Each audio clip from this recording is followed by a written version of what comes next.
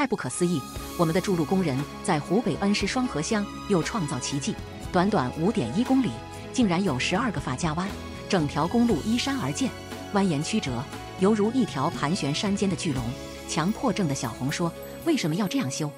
捋直了修上去不是更省时间和成本吗？